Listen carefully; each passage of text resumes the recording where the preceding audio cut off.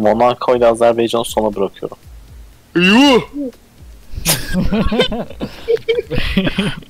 Tamam ya dur Rusya ile baş ısınalım.